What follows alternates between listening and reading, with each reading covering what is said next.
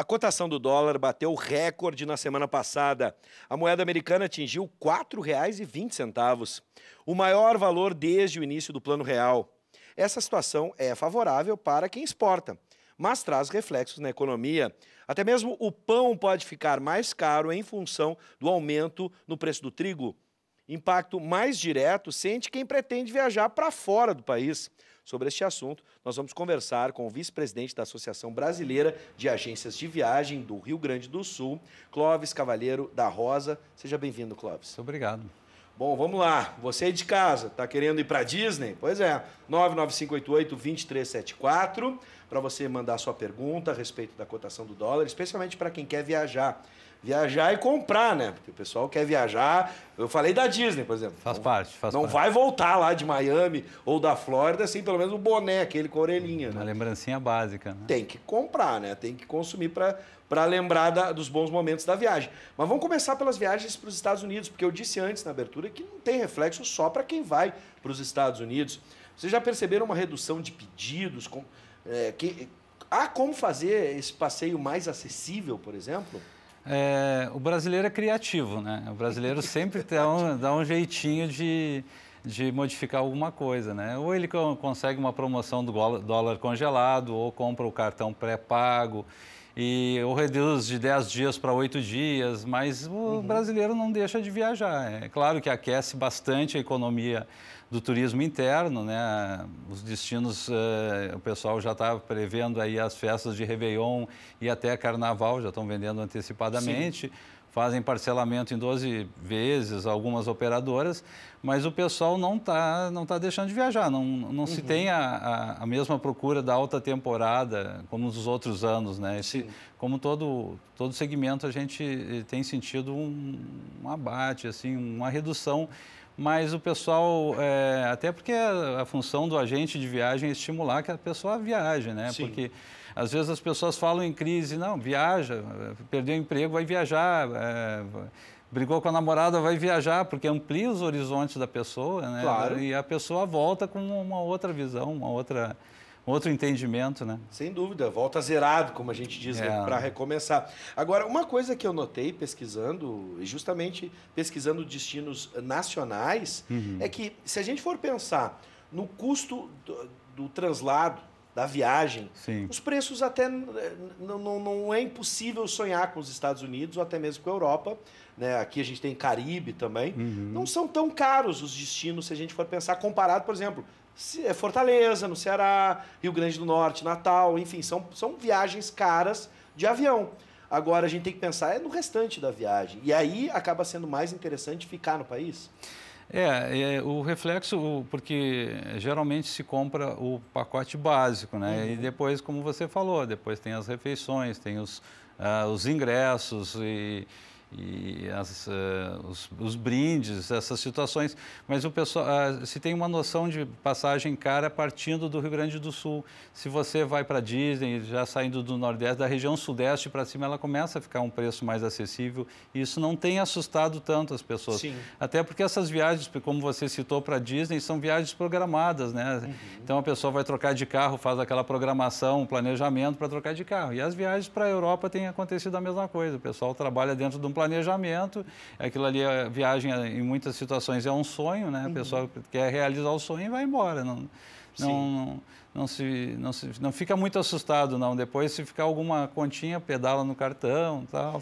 Essa é a alternativa hoje para quem está no mercado, né, as agências, e também para quem está procurando a melhor saída é o parcelamento. E esse parcelamento tem se estendido do que a gente imagina. Geralmente, o cartão de crédito oferece 10 vezes sem juros. Uhum. As agências estão buscando dar mais crédito. É, o, o ideal para que as pessoas possam viajar mais tranquilas é que pelo menos 50% da, da, da viagem, do projeto da pessoa esteja pago até o momento da viagem, para que a pessoa viajar e começar a pagar tudo na volta fica meio é, salgado no bolso, geralmente do pai de família, né? Então, se, se vai parcelar, não parcelar em muitas vezes, cuidar, o, porque todo parcelamento às vezes não tem, não tem juros, mas tem o IOF dos impostos do Sim. cartão, né? E que quando vai viajar, pelo menos 50% da viagem esteja paga, porque daí depois consegue respirar mais, mais tranquilo no retorno. Essa é uma dica boa, porque assim, a gente está vivendo um ano de, ele, de eleições, sempre um ano de muita dúvida, uhum. e hoje mesmo aqui na Rádio Mix FM, aliás, daqui a pouco tem promoção da Rádio Mix FM 5 anos, fica ligado no programa que a gente vai liberar ingressos para a festa amanhã no Bar Opinião. E a gente estava falando com uma empresa de turismo uhum. e eles estavam nos contando o seguinte, de que uh, como é que a gente deve planejar essa viagem? Algumas empresas estão conseguindo segurar o dólar, pelo menos para essa entrada. Olha, você paga tanto, o dólar está tá fixo para 20%, 30% da viagem.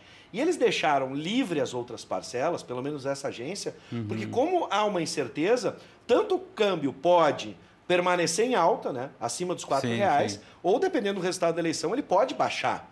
E aí a ideia seria essa, não se prender agora, porque realmente há uma incógnita. Ou, ou tu acredita num dólar alto? Tu, é, é essa, essa, incerteza, é, ela é, é em todo, todo o mercado, não uhum. só no uhum. turismo, né? Mas é, a gente acredita que todo povo tem que ser otimista, né? Que a, até as eleições o dólar per, vai permanecer mais ou menos assim. Uhum. Né? E depois ele deve voltar dentro de um patamar, dentro da realidade dos brasileiros, né?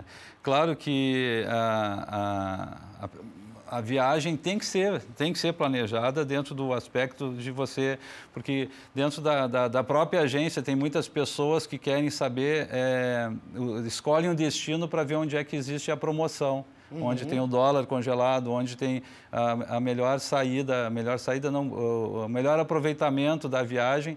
Então eles, eles escolhem cinco destinos e dentro daquilo ali eles trabalham, porque hoje dentro da internet você tem uma vida online, né? E ali Sim. você consegue dar uma pesquisada dos valores, dos atrativos, dos uhum. parques, e então isso faz com que as pessoas tomem a decisão dessa, baseada nessas informações. E assim, a, as agências também planejam as melhores promoções. Exatamente. Agora é bom lembrar, como eu disse, a gente não está falando só dos Estados Unidos, né? Exato. Aqui do lado, gente. Quem vai até a fronteira, por exemplo, ou vai a Montevidéu, ou vai a Buenos Aires, vai se deparar com, com, com um câmbio, de certa forma.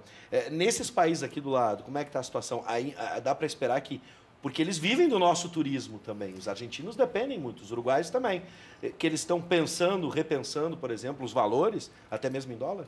Não, mas os destinos aqui na América do Sul têm sido bem mais atrativos que para a Europa. Uhum. Até porque se trabalha muito com a moeda local, né? Isso Sim. faz com que. É, querendo ou não, está, está, pouco atrelado ao dólar, mas você consegue trabalhar com a moeda local. Isso faz com que você consiga ir para Bariloche, consiga alta temporada, consiga fazer uma bela viagem e, e, gastar bem menos. No caso da Argentina, é bom lembrar que o nosso dinheiro é valorizado perante né, ao peso argentino, claro. uruguaio. Agora, uma dica tua. É, a gente estava conversando ali sobre comprar dólares, né? Ou uhum. cartão de crédito. Bom, o cartão de crédito vai ter um imposto em cima. Hoje, por mais que seja arriscado, e, e, vamos pensar que não é só no Brasil que existe a probabilidade de você ser assaltado. É, às vezes acontece até mesmo fora do país. Comprar dólares, levar em dólar e fazer as compras em dólar, na moeda viva, ou o cartão de crédito por segurança, hoje a gente acaba pensando o que, que sai melhor. Eu acho que tem que ser uma situação de um ponto de equilíbrio, tem que ser a metade uhum. dentro do dólar, se você conseguir comprar uma um, um valor, se, se, for, se não puder segurar até a sua viagem, se for agora, nesse, nesse momento, comprar dólar e 50% levar em dinheiro e 50% levar em, no cartão, né? arriscando até pagar pela cotação do dia, mas mesmo assim você não corre tanto esse risco, né? como uhum. você falou, que andar com um volume de, de, de, de, dinheiro hoje é meio complicado. Né? Só para político que não, daí dá para encher a cueca bastante e, Exa e fica à vontade. Para eles parece que não esse tem é, problema. Esse é o nosso Brasil. É, pois é. Mas é, no caso, por exemplo, dos travel checks ainda existem esse, essa, essa modalidade, por exemplo? É, não se está utilizando muito. O pessoal está preferindo trabalhar tudo com cartão internacional. Sim. E o cartão pré-pago, né, que você é, coloca crédito, crédito exato Sim. antes da, da, viagem, porque daí você já está com, com o planejamento, a programação feita, né? É, o cartão de crédito às vezes é um convite a a gente se passar um pouquinho, mas tudo bem. Cuidado. Bom, para quem quiser viajar, algumas dicas que tu pode nos dar hoje, destinos que tu recomendaria. Lembrei de um agora que existe o dólar, mas é o dólar canadense.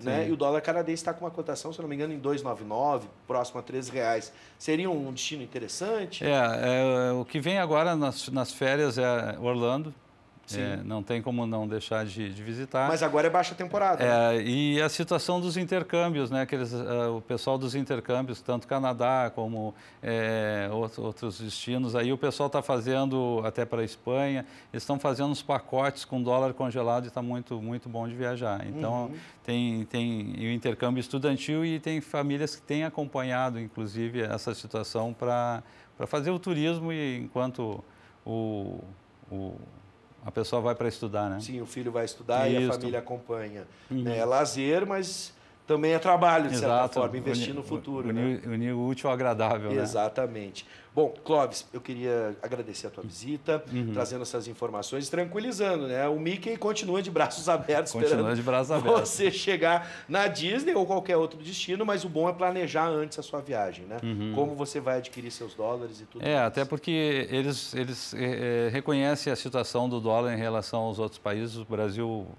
vai muito para a Disney e eles fazem umas promoções, tem várias promoções aí que eh, não é por isso que o pessoal vai deixar de viajar e conhecer a Disney. Muito bem. Tio Sam está facilitando.